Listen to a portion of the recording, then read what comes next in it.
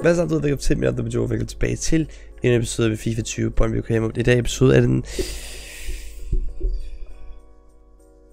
Episode 11. Jeg kan godt huske det, men det er fordi, jeg lige har pre-record en masse video her, så jeg kan ikke helt huske. Det er episode 11. Så mine damer her, velkommen til episode 11. Mine damer her. Hvorfor siger jeg så meget mine damer her?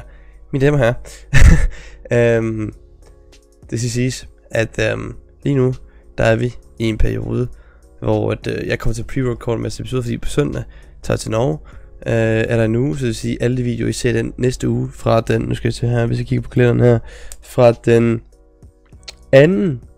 til den 9. der er en år. Øhm, og alle de videoer er optaget før. Øh, så det vil sige, den her video, som vi ser nu, det skulle gerne være en fjerde i dag. Øh, jeg optager det på den 30. Så hvis I skriver nogle kommentarer nu, øh, så skal I altså ikke regne med, at jeg ser den, før jeg optager en video igen efter den 8. Øh, det er meget mærkeligt, ikke? Men ja, øh, så det vil sige, jeg kommer til at pre-record en masse videoer, så det vil sige, hvis I skriver noget i den her video, så er chancen for, ja, så kommer jeg i hvert fald ikke til at, at, at tage det med over til næste episode, fordi at jeg, næste episode den er optaget før I skriver. Det er meget mærkeligt, i hvert fald, jeg er en lige nu, så øhm, men den her video den er pre-recorded. Det giver ingen mening. det giver mening? Fedt. I hvert fald, langt om det. Velkommen til episode 11 med dem her. I dag har vi tre kampe, vi skal spille. Det er faktisk de tre første kampe, vi ser her. Det er OB, øh, AC Roma og FC København. Øh, nogle store kampe, det her, det er, jeg skal mene, at OB, de uh, ligger nummer 3. Jeg ved ikke, hvorfor OB, de er gode i, uh, i, i, i FIFA, men det er de apparently. Altså, det er jo ikke, fordi de er dårlige i virkeligheden, men altså, altså, være contender for at vinde. Øh, det var det så sidste sæson, så faldt de så ud. Jeg tror faktisk ikke, i top 6. I hvert fald, de er øh, lige nu andenpladsen, tredjepladsen tror jeg der. Øhm, så vi skal møde øh, OB, så har vi vores største kamp i historien, som bliver mod AC Roma. Den Ja, jeg ved godt, holdet hedder AS Roma og ikke AC Roma, øh, men det fandt jeg altså først ud af, efter jeg optaget episoden. Så for hele den her episode med dem her, så må jeg lige leve med, øh, at jeg kalder holdet for AC Roma. Kamp regner ikke med at vinde, øh, og så har vi en kamp imod FC København. Øh, OB-kampen kommer nok til at spille på legendarisk. Øh, prøv at se, hvordan det er Superligaen. Øh, Roma-kampen kommer til at spille verdensklasse, og SK kommer nok til at spille verdensklasse. Så ja, lad os komme i gang med første kamp, som bliver imod OB. Det her det holder til alle, der er nye, og jeg kan se det. Tag et kig på det nu. Ja, godt. Så skal lige have busken faktisk. Nej, vi vandt over Utrecht øhm, på legendarisk. Øh, men det var altså med dem, der havde bolden stort set de meste kampe. Jeg tror også, vi kommer til at vinde OB igen, hvis vi spiller som vi plejer. Øh, spørgsmålet er bare, om, øh, om de kommer til at have bolden meste kampen. Det får vi se. Øh, fordi ellers så kunne det godt være, at måske skulle begynde at spille kun Super League kampe på legendarisk, og så spille øh, Europa League kampe. Øh, Super League kampe på øh, legendarisk og Europa League kampe på verdensklasse. Jeg kan slet ikke snakke. I hvert fald kamp mod OB. Lad os komme i gang. Kommer til Gidi, til Ure, tilbage til Damsgaard, tilbage til Ure, Tilbage til Damsgaard. Damsgaard skyder. Og vi får et skud. Uphoff redder bolden. Så er vi i gang med dem her. Så er vi i gang. Ligesom med Ultrakamp, så får vi det første skud. Øh, dårligt. Eller det er ikke dårligt. Godt spil mellem Damsgaard og Gitte. De to, de er... Hvis jeg skulle indtil videre sige, hvem der er det bedste i sæsonen, så vil jeg nok 100% sige, at det er Damsgaard og Gitte. Øhm, og så med Ure og Busk lige bagved. Øh, de har sakssus med haft en god øh, sæson. Jeg vil sige, at alle i vores hold har spillet godt. Øh, nu skal vi se Gitte igen. Skyder. Oh, vi er tæt på scoring nu. Øhm, og det er mod OB på legendarisk. Overvej virkelig, om jeg skulle spille alle de kampe på legendarisk. Med sådan her. Kan han komme forbi? Det kan han. Lægger bolden ind til, til Gidi her. Gidi skyder. Okay. Jeg vil sige, i Superligaen der er det lidt anderledes end, end, øh, i Europa League. Uh, det er lidt sværere, ja det er lidt nemmere i Superligaen at beholde bolden. Jeg synes faktisk ikke, at det er så skide svært at få bolden fra OB, som det var mod udtrykt. Så uh, så jeg sidder stærkt overvejet lige nu, om jeg skal spille øh, uh, Superliga på der. Jeg synes, at have bold til, til Gidi, tilbage til Damsgaard, til Madsen, og til Reis, til Ure, tilbage til Gidi. Åh, oh, de står vidderligt så kompakt. Masser af plads her til Ure, tilbage til Reis, Reis, bliver taklet, og vi får rødt kort. Nej, ikke vi får ikke rødt. Vi får et straffespark. Fosun kommer ind med en virkelig lortetakling. Uh, jeg vil sige, at jeg selv har lavet nogle af dem her, men det er en åndssvagt takling, fordi at man er så langt væk fra bolden. Øh, og så prøver han at gå efter den der... Jeg var godt til bolden der, men vi får straffespark, og det bliver Kida, der skal skyde han også fra topscore, så det giver mening. prøver at finesse ned i højre hjørne. 100 pænt redder den her, fordi det gør de altid. Vi skruer.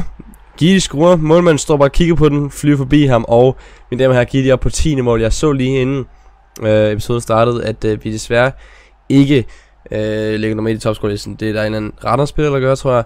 Så øh, Gidi, there we go. Op på 10. mål øh, på, på 14 kampe, tror jeg det. Jeg tror det var... Nej, det vores... Jeg tror det var 13. kamp, fordi OB, nej, FCK det er vist øh, vores første kamp øh, efter halvvejs igennem øh, ordinær spilletid, ordinær sæson, det kan ikke snakke. I hvert fald, langt det, Gidi scorer 10 mål, og øh, det er godt at se. Så øh, nu han øh, cirka en tredjedel igennem Robert Skovs, øh, ja, Robert Skovs øh, 29 mål. Og vi laver et straffe i den anden ende meget kort efter.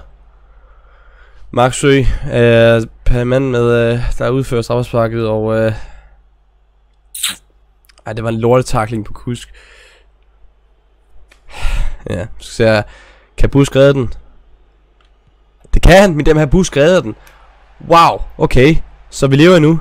Og øh, det gør, altså det er bare, det er bare øh, en bonus på en sæson. Og øh, there we go. 1-0 stadigvæk. OB, øh, kæmpe chance. Nu skal der ikke...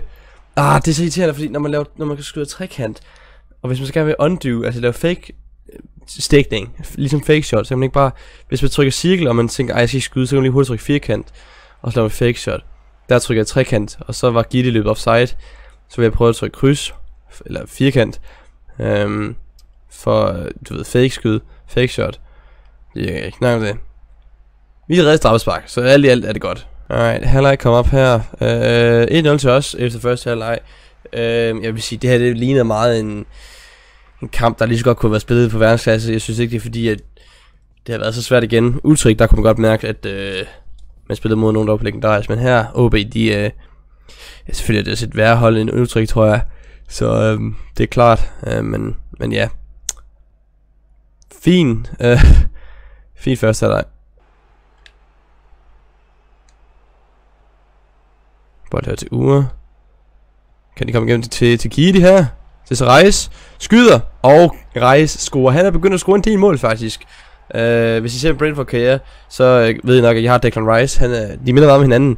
Uh, de to spillere. Lige pludselig så kommer de ud af ingenting i det offensive og scorer mål. Det er altid sådan, når, når de kommer fra øh, deres centrale defensive midtposition op i angrebet, de skruer altid, hver de får chancen. Øhm, og det er det samme med Rice. Han scorede i sidste episode, han scorede den her episode. Så Hammer og Declan Rice, de ligner lidt hinanden. Øhm, I hvert fald 2-0. Og øh, jeg tror lige nu, at jeg har fundet ud af, hvordan jeg kører.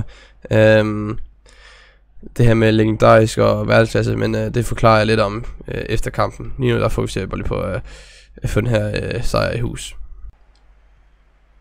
Det er en god bold til Damsgaard. Ind i banen. Længere ind. Damsgaard med et sindssygt løb. Og jeg gik godt nok lidt i panik der til sidst, bare sådan skyd over for dalen. Uh, øh, han kommer til skud, og uh, jeg ved ikke, hvordan han beholder bolden så lang tid. Jeg tænker uh, flere gange under det der, at uh, nu mister han bolden. Men han er en snedig lille mand, uh, som scorer sit sjette mål. Han er godt nok en af de bedste køb, vi har haft. Han er det bedste køb, vi har haft den sæson, tror jeg, fordi... Uh, altså, hvis jeg købte købt Gitte den sæson, så tror jeg, han var det bedste, men med Damsgaard, han er nok det bedste lige nu. Uh, sikke en central offensiv midt, vi har fået købt, så jeg tror ikke, vi kommer til at sælge ham. Øhm, mindre at øh, han selv vælger at putte sig selv på transferlisten, fordi han bliver pisse sur. I hvert fald genialt spil for Damsgaard. Foran 3-0, kampen lukkes lukket. Det her, det er det tredje bedste hold, vi spiller mod OB, og det er altså på legendarisk. Øhm, så øh, jeg tror helt klart, jeg fortæller selvfølgelig, hvordan vi kommer til at gøre det lidt, men jeg tror helt klart, at det her det bliver øh, noget, vi kommer til at køre lang tid. Nu skal de ikke skrue her. Fucking Fosum. kommer der et sindssygt skud.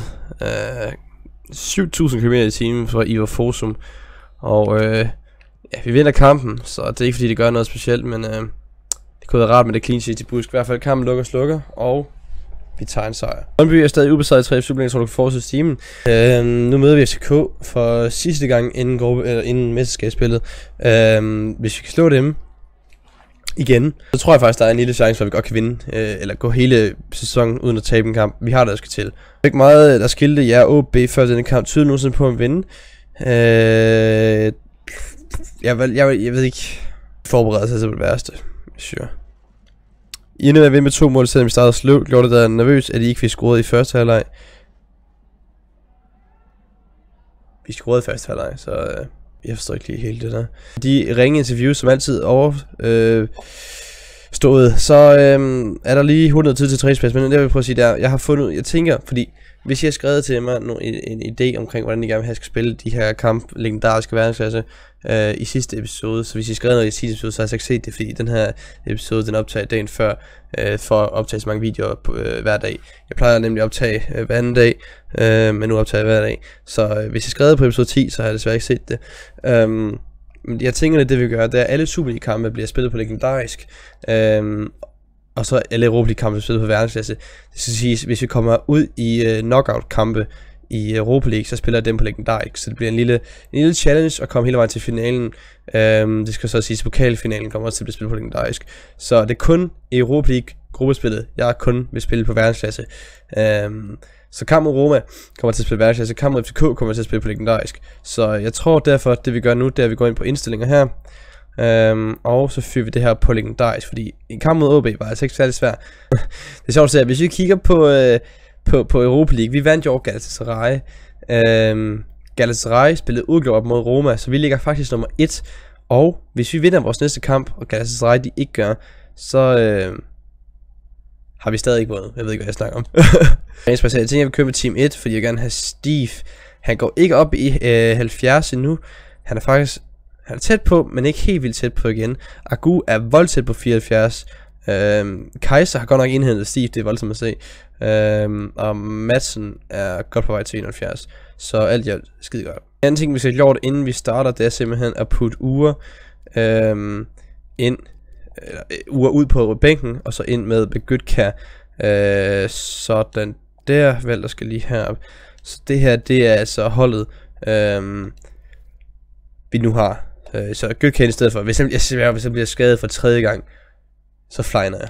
Måske største kamp i, øh, i, ja, det er nok største kamp. Altså Roma er øh, ikke er udiskutabelt, eller udiskutabelt, øh, kan man, jeg ved ikke om det er et ord, men øh, i hvert fald øh, altså udiskutabelt bedre end, end øh, Galatasaray. Så jeg tror, det er det største kamp, vi har haft. I hvert fald, I kommer flyve fra start. Øh, tror du vinder det i tredje kamp stræk. Holy Jesus. Øh, holdet spiller godt. ja, ja, ja, vi skal spille mod Roma. Jeg regner ikke med vinder. Øh, og jeg regner næsten heller ikke med, at vi får udgjort. Øh, det er jo træning ændret øh, som ned for øh, forberedelse. Sure, øh, det ved jeg ikke. Øh, jeg spiller som altid gør. Ja, altså jeg vil sige, Roma, hvis de spiller udgave mod Galatasaray, vi vinder over Galatasaray, så har vi vel en chance for at spille udgave mod Roma. Hvis vi kan det, ville det være fantastisk. Dit hold spiller for Rune på det seneste år, du kan fortsætte med at levere det på et højt niveau. Jeg tror godt, vi kan øh, levere på det samme niveau. Spørgsmålet er bare om det niveau. Det er øh, godt nok til at få point mod Roma. I hvert fald, det var øh, et spørgsmål af vejen, så lad os komme til kampen imod Roma. Alright, vores største kamp nogensinde med damer her. Vi skal på hjemmebane tage imod AC Roma. det her det bliver stort. Alright, lad os komme i gang med kampen. Øhm, og lad os se, hvad vi gør. AC Roma er jo... Ja, for ikke lang tid siden var de i semifinalen i, øh, i, øh, i Champions League. Nu står de her, og øh, skal se, om de kan få point mod Brøndby. det, selvfølgelig kan de ikke det. Vi er det bedste hold i verden. Nej, men i hvert fald, det her, det bliver... Øh, det bliver, det bliver sindssygt, hvis vi, hvis vi får point her. Gøk her tilbage. Se her ved Damsgaard. Skal det have et mål? Sig det bare ikke Roma. De undervurderer måske øh, Brøndby. Vi har allerede haft en chance. Damsgaard igen. Sindssygt løb for ham. Og øh, han er... Mm, han er minimæssig. Lad os sige det på den måde. God bold fra Damsgaard ud til Lennestrøm, som lægger den tilbage til Gøtkær. Gøtkær tilbage til Gidi. Gidi tilbage til Madsen. Nej, Gidi skyder selv. Det var meningen, at skulle til Madsen. Det kom den ikke. Jeg tror måske, jeg kom til at trykke cirkelkryds. Så jeg lavede fake i stedet for. Men sindssyg start, vi har fået på kampen her. Gidi med en kæmpe chance. Og den bliver faktisk reddet øh, fra deres målmand. Så øh, ja, så vi kan her på hjørnesparket. Øh, vi sætter den til Gidi, som ligger tilbage til Lindstrøm. Tilbage til Gidi. Uh, hvorfor løber Ferguson ud af banen? Det er da godt nok uh, interessant. Uh, han lever stadig nu, men uh, skal han have Ferguson. Det Ferguson, ja. Ind til Damsgaard. Messi her. Bum. Bum. Det kan okay, den rammer Sakadu. De har Saka...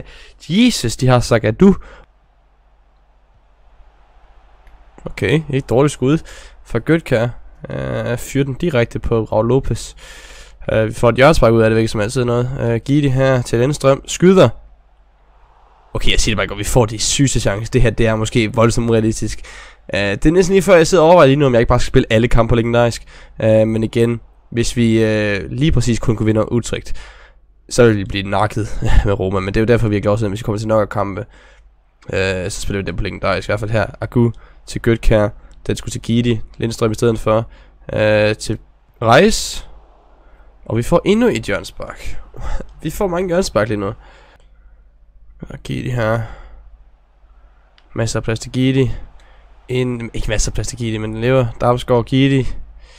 Tilbage til Damsgaard. De to er perfekte for hinanden. Og jeg troede, det var en med dem her. Raul Lopez redder alt, der går imod ham lige nu. Og øh, ej, jeg vil sige, Gidi og Damsgaard, det er seriøst et duo, øh, der siger Spar 2. Vi har 7-0 i hjørnespark. Det er fuldstændig latterligt, hvor offensiv vi er. Og vi har meget mere boldbesiddelse end Roma. Så det er lidt urealistisk. Så jeg ved ikke.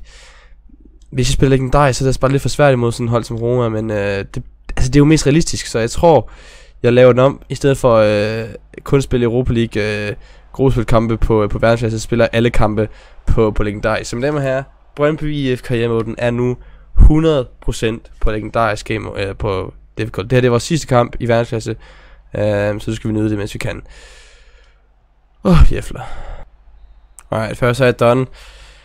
Lidt urealistisk, at øh, vi lige nu står øh, 0-0 med, øh, med Roma. Havde det været virkeligheden det her, så havde Roma jo nakket 7-0 bare første halvleg. Øh, så ja, det er også derfor, jeg har besluttet for, at nu spiller vi alle kampe legendarisk. Øhm, I hvert fald anden halvleg, lad os komme til den. Jeg kan se, at Lindstrøm er gået 67. Øh, det kan godt være, han har været i noget tid, uden jeg har lagt mærke til det. Øh, men det er mega fedt at se. Vores hold er virkelig begyndt at se godt ud. Øh, jeg kan ikke vente med, at øh, det bliver endnu bedre. Og Superligaen, vi, lige, altså på, vi kommer en gang på et tidspunkt, hvor det er FCK, det er en kamp, vi også bare kan simulere. Øh, alle kampe, undtagen Champions League i fremtiden, kommer til at være dem, vi skal simulere. Men øh, det er ikke endnu. Så øh, lad os komme i gang med kampen imod, eller anden halvleg mod Roma. jeg kan se, jeg kan ikke snakke. Giv det her. De løber ikke engang ordentligt med. Øh, Roma-spillerne. Lidt sjovt at se. Harry we go. Lindstrøm ind til Reis. Og det er så ikke Reis. Er det Reis? Det er Slimane. Bliver det Slimane skruer imod Roma. Vi fører nu Roma. Og det der med damer her, det er grunden til, at øh, vi skal spille alle kampe på legendarisk. Fordi at vinde over en klub som Roma, det er... Øh, ja, det er urealistisk. Så øh, det her det er sidste kamp, vi spiller i den her karriere mode med øh, på verdensklasse. Og øh, jeg er sikker på, at det her også... Øh, kommer til at blive selvfølge frem til de næste par karrieremål, jeg laver. Øh, hvor jeg måske kommer til at spille legendarisk på dem alle sammen. Øh, fordi verdensklasse, det er sgu, det er fornemt. Jamen, der er jo ikke nogen, der løber imod Stimane. Okay, det er fornemt det her. Ej, nej, nej, hvor er det urealistisk. Det er næsten lige før, at jeg var nede, når Slimane han scorede det, fordi det er så urealistisk. Jeg mener, prøv lige at se, der er ikke nogen, der løber imod ham. Altså, på hvor nemt det ikke lige er for ham. Hold fast, mand. Det er som om, det er blevet nemmere og nemmere. Måske er der nogen, der bare siger, jamen, altså, det jeg håber på, at de fleste af jer derude vil sige, det er, jamen, Mojo, det er bare fordi, du er blevet for god. Uh, ja, alle kampe er spillet på League Dice, det er sikkert, fordi vi, kan ikke, vi, vi skal simpelthen ikke vinde 200 over Roma. Uh, det er første gang nogensinde, jeg tror, jeg faktisk er lidt ærgerlig over, at vi vinder. Uh, fordi det, jeg, jeg havde lidt håbet måske, at vi tabe, uh, øh, bare for at uh, det skulle for, blive holdt realistisk. Fordi det her det er overhovedet ikke realistisk. Uh, men i hvert fald, nu er det 100% sikkert, at uh, alle kampe skal spille på legendarisk. Alright, vi nærmer os uh, kampens ende, og uh, vi vinder. Altså det vil sige, når man er i en af de bedste grupper i Europa League, og man vinder alle kampe, uh, alle de første kampe, så ved man, at det begynder at blive fornemt. Så uh, ja, yeah. det her med dem her, det er aller sidste kamp nogensinde i den her karriere, vi kommer til at spille uh, på verdensklasse, fordi nu er det only legendarisk. Mine damer og herrer, vi vinder 2-0 over Roma, og øh, altså jeg tror, det, det, det ser i hvert fald meget realistisk ud, at øh, vi vinder Benzema, bliver fortjent kampen, spiller med to mål, og han er altså udskifter. Shit, en spiller. Det kan være, hvis vi begynder at give ham træningspas, bare fordi, at øh, det er bare fordi, vi vil være med Roma. Alright, og med det done, så har vi altså øh, sidste kamp her, meget, øh, meget kort tid efter den her kamp. Vi har selvfølgelig hurtigt øh, nogle spillere her. Ja, Jung er lidt sur, og han ikke får så meget spilletid. Det er fordi, han er blevet sat som vigtig spiller. Uh, men selvfølgelig, eftersom jeg er kommet til, så er han ikke længere så vigtig igen. Øh, uh, FCK-kampen, det her det kan godt være den sværeste kamp, vi har på Legendarisk, fordi jeg tror ikke, udtryk de er lige så gode som FCK. Jeg er ikke sikker på det overhovedet. Uh, I hvert fald, vi har en kamp med FCK, og hvis vi vinder den kamp her, kan vi altså lave et rigtig, rigtig godt hul med hele 6 point ned. Så FCK kan se, at hvis vi kan lave et hul på, øh, på 14 point ned til OB, så øh, vi kan altså virkelig få lavet skade på, øh, på ligaen, og det vil være så vigtigt. Øh, vi er nu officielt halvvejs på Superliga-sæsonen, og øh, vi er et mål efter Kamara øh, med mål, det er simpelthen Gidi, og Ure han er også deroppe af, det er Damsgaard også, men hvis vi kigger her, øh, vi har FCK-kampen, jeg tænker vi simulerer de to kampe her, øh, så har vi Roma igen. Næste episode skal vi med Roma, øh, vi kommer faktisk til, næste episode bliver faktisk lidt voldsomt, øh, næste episode kommer faktisk til at blive voldsomt voldsom. Øh, fordi det jeg tænker vi gør lidt, det er, nu spiller vi FCK-kampen, og så slutter episoden ved, at vi, sim- vi skal også simulere de to kampe her i dag, øh, og slutter episoden her. Næste episode, tænker at vi simulerer Lyngby, Esbjerg, spiller Galatasaray, vi skal selvfølgelig også spille Roma, så vi har Roma og Galatasaray i en episode, for sådan sindssygt. Simulerer Silkeborg, øh, spiller Nordsjælland, ah, skulle man, ah, det kan godt være, vi skal spille OB også, så det kan godt være, at episoden slutter her.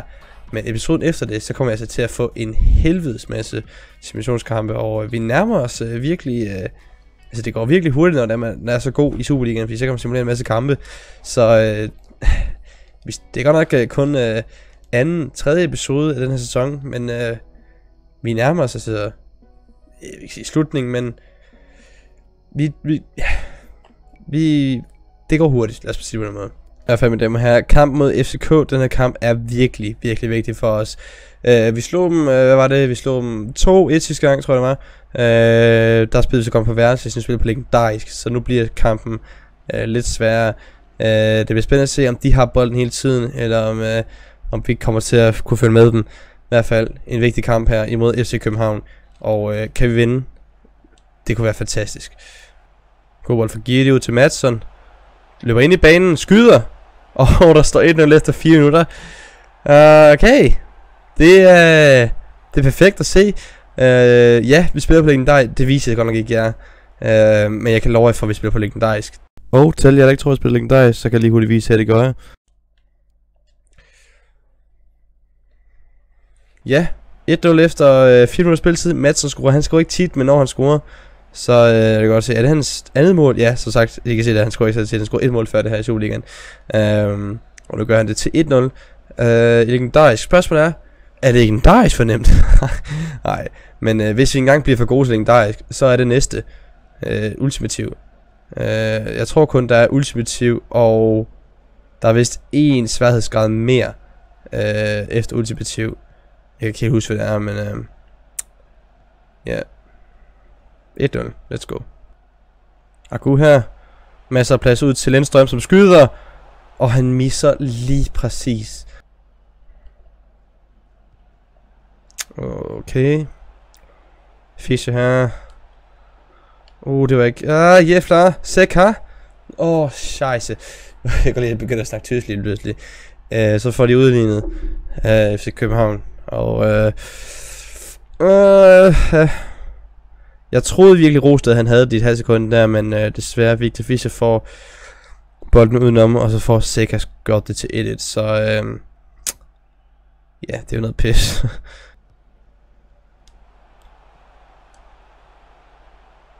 Rejs, rejs. Vi får et straffespark. Rejs tilkæmper sig et straffespark. To kampe, to straffespark. Det var så ikke, det skete så i Roma-kampen lige meget. Øhm, Gidi kan komme op og stå lige med Kamada for Randers FC. Øh, han skal selvfølgelig skyde. Spørgsmålet er, kan han fyre forbi Kalle Motherfucking Jonsson? Finesser den igen ned i højre hjørne. Det plejer vi ikke for, øh, for ham. Og det gør det igen. Målmanden... Men skulle næsten tro, der var en bug med, måden, man står stille i midten, fordi at, øh, det skete med både Kalle Jonsson her, og en OB-spiller. Jeg spillede sådan en kamp i, øh, i, en, i en anden karrieremode, jeg har. Øh, for bare for at sidde og hygge med den karrieremode. Øh, der stod man også stille på et straffespark. Øh, lidt mærkeligt, de gjorde det hele tiden. I hvert fald nok om det. 2-1. Gidi gør det til sit eftermål i sæsonen, og han ligger vist lige lige nu med kammerater, selvfølgelig ikke han har gjort det til, øh, til 12 mål. Så øh, med dem her, 2-1, vi får den igen, og øh, det er mega fedt at se. Madsen kommer udenom. Han skulle meget gerne kunne løbe fra, det gør han, og så gør han ikke. Jo, det gør han. Fake shot. Han beholder den, han beholder den. Ah, okay, det er svært at holde den af. Ah, for de målspark. Øh, I hvert fald, halvleg kommer, og øh, solid halvleg vil jeg sige, 2-1, og øh, ja, selvfølgelig det er jo de score. Øh, det kunne være fedt, hvis det stod 2-0, selvfølgelig kunne det Øhm, men, øh, men det er også fair. Altså vil sige, SK de har ikke haft bolden lige så meget som os, men øh, de har haft chancer. Nu skal vi se her, vi kan noget her. Gidi til Götkær. Götkær får ikke bevaret bolden. Gidi med hovedstød her til Madsen. Tilbage ind til Reis. Til Gidi. Tilbage til Madsen. Ind i banen. Den får Bøjlesen. Og dommeren fløjter. Så øh, 2-1 efter første halvleg. Ikke dårligt. Ikke dårligt. Madsen her. Masser af plads til ham. Skal han lægge den til Gidi? Det skal han. Gidi får ikke fod på bolden. Det kunne ellers være tæt på. Götkær her. care. Finder Gidi, og Gidi skruer sit andet mål i kampen og gør det til 3-1. Selvfølgelig er det til Götkærs fortjeneste, så vi løber ned og jubler ham. Øh, fordi han har sgu... Øh, okay, lige meget. Han har sgu været... Øh, sige meget synlig er faktisk lige til at skifte ham ud med øh, uger, det har jeg gjort, men øh, godt, øh, god sidst her fra Gøtkær. Øhm, og et andet mål fra Ure. Han er oppe på, nej Ure, øh, Gidi, oppe på 12. mål nu. Og øh, ifølge, hvis ikke Kamara har scoret, så ligger vi nummer 1 øh, lige nu på topscore med ligesom ham. Så det er mega fedt. Øhm, men ja, nu skal se kan Ure allerede gøre det her? Ah, det går sindssygt.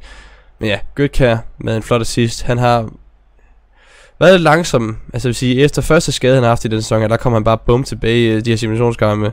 Ikke lige så god i, øh, i, i vores rigtige kampe, øh, simulationskampe. Det er det samme Steve. Og de rammer overlæggeren.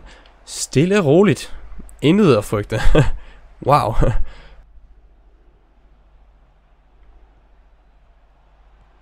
Og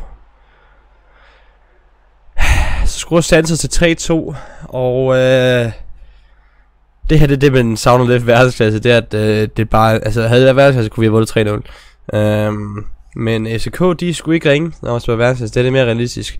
Øhm, de kan også kampen lidt mere spændende, men øh, under 10 minutter tilbage, så må ikke vi kan se den ud.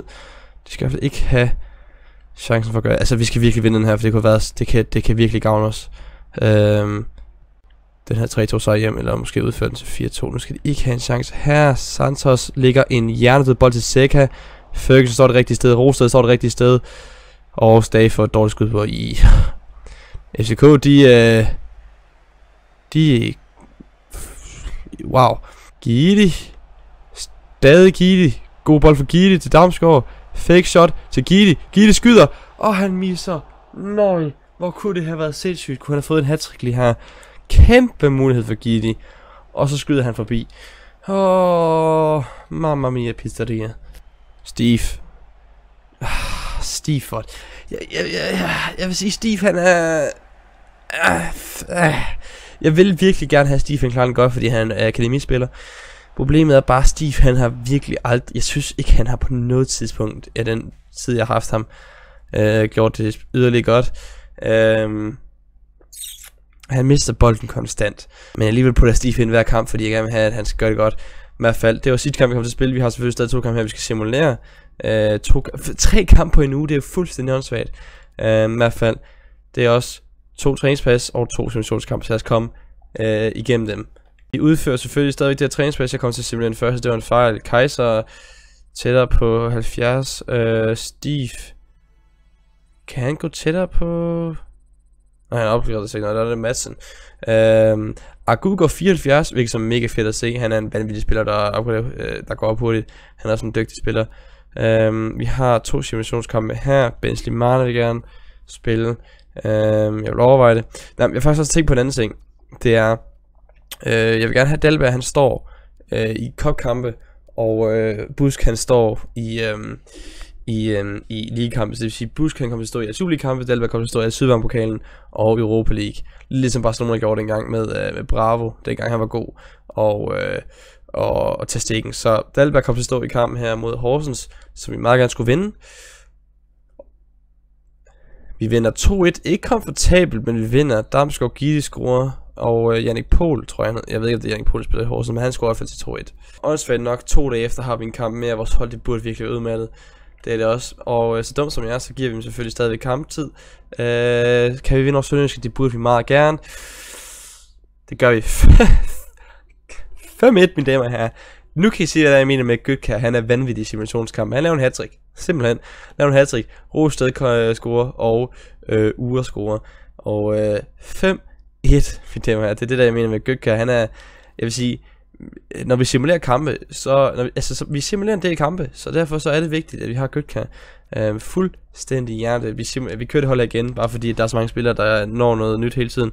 Øh, Steve går i 70 rating næste gang. Jeg ved ikke, om det er fortjent, men han gør det i hvert fald. Kaiser går i 70 rating. Det er vores første akademispiller, der går i 70 rating. Han er simpelthen overhældet Steve.